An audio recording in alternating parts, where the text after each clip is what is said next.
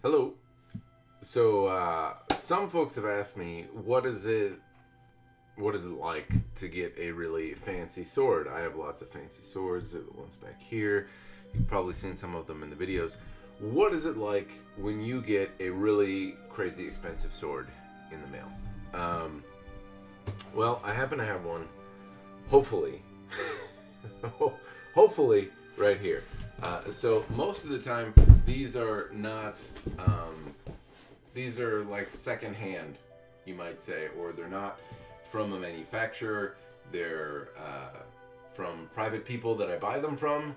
So you know, this packaging isn't exactly representative, but this is what a fancy Howard Clark L6 katana would come in uh, if you get one. Not necessarily from Howard Clark, though, you know, from someone's else. So, uh, I thought I would go ahead and just do the the unboxing on camera since uh, since at least tens of people seem to be interested in it.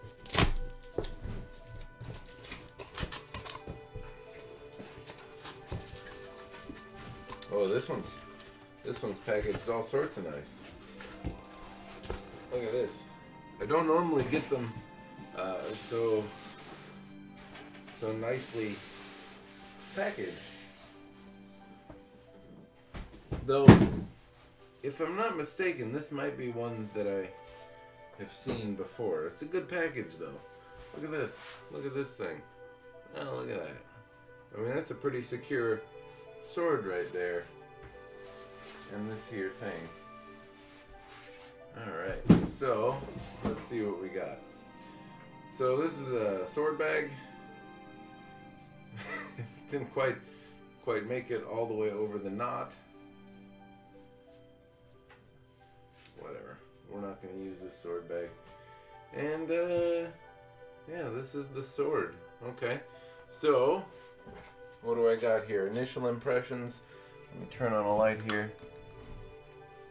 So, as I mentioned, this is a, uh, Howard Clark L6 katana. It's uh, it's got moan over the.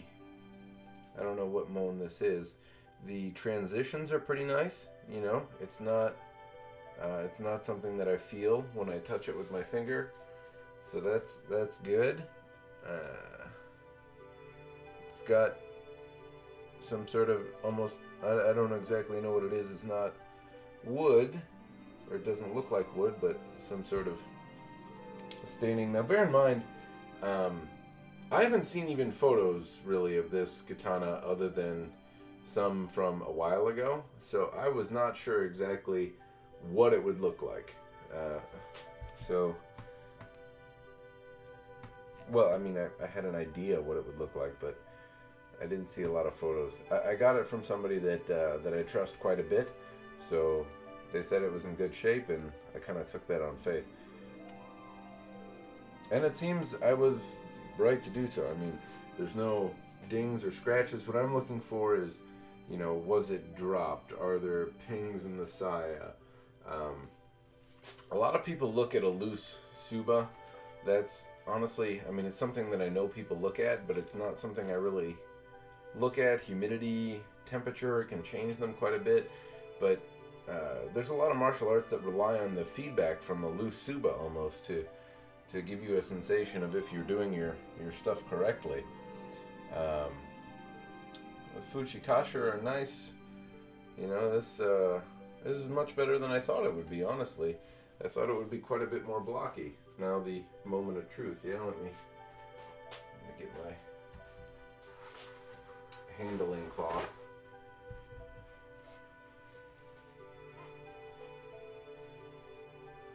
And before I do that, maybe you can see the tsuba. I mean, these these fittings are just, um, and I knew this going in. No, nothing about this is surprising to me. I, I had a good idea of what it was like. The saya is actually a bit nicer than I thought it would be. Uh, I didn't expect it to be. I thought it would be more blocky. Um, from the photos I had seen a while ago, that was my impression, and it is. Uh, it's much nicer than I expected to be. There's a little bit of weirdness with the lacquer uh, near the uh, Koiguchi, um, but that's about the only thing I noticed. Otherwise, it's in uh, very good shape. It has has some personality. The leather Ito is not bad. The diamonds aren't exactly perfect, but they're they're pretty well done. Um, it's in a leather that I'm not familiar with. I don't I don't know who made it, but it's it feels really thick. Um, it's very tight, but it seems like whoever was doing this had a hell of a time playing with it. And the fittings, uh, the Fuchi Kashira Tsuba, I mean, realistically, they just seem beneath it. They almost seem like production style sword fittings. I have to get a closer look at them. I mean, they might be something nicer, but uh, they seem seem a little hokey for what this blade is supposed to be. Okay, moment of truth.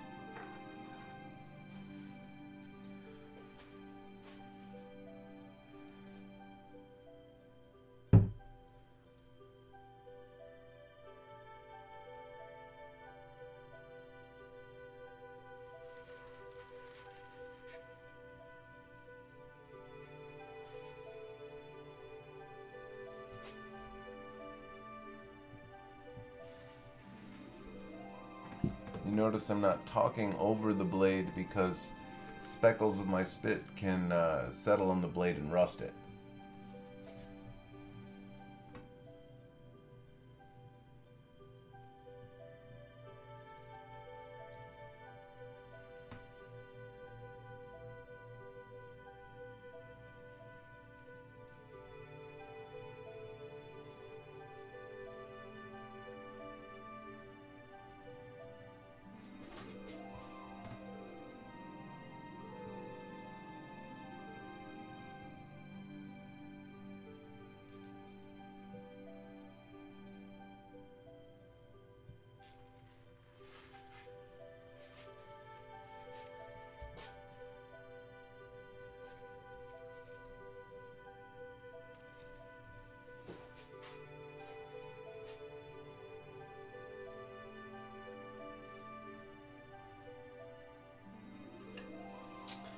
Well, uh, I don't see any spots of any kind. I'm going to look it over a little bit more diligently now.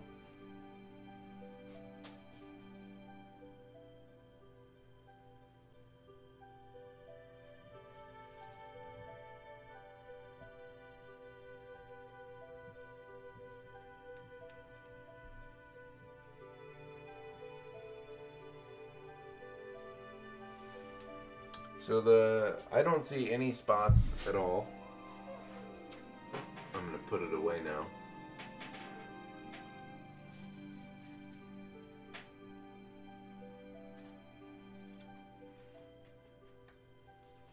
So I don't see any any spots at all. Uh, it seems in very good order. Uh, they're honestly the polish is really splendid. It's a beautiful looking blade. The polish, I, I, I, don't, and maybe I'll do a video on this a little bit later. The polish is a little meh on the Kisaki. It's not burnished uh, quite as well as I would hope it would be, um, but it's it's not not anything terrible or unexpected or, or frankly that bad. Just a personal preference. Um, I'm not sure what I'm going to do with this yet. Um, this is in better shape than I expected it to be in person and and I think the previous photos that it had just just didn't kind of give it give it what it needed. Um, the fittings on it aren't great, and uh, I have some fittings coming actually that I picked up from a fellow SBG4 mate uh, from Roman Urban, and and they may be very well suited to this blade. So I might uh, I might end up having the uh, having a new Tsuka made, basically, and having a new set of fittings done. Um, maybe I'll do a whole new Saya and just have two set of set of fittings for it. I'm not sure what I'm gonna do with it yet, uh, but it's a nicer shape than I thought it would be, and this is my happy face. If you're unfamiliar, you may not have seen it before.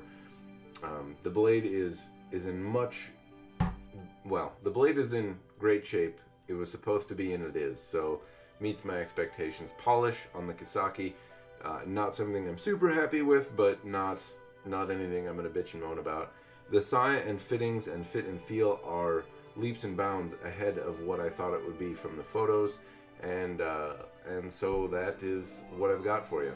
So that was me unboxing what should be a very expensive katana.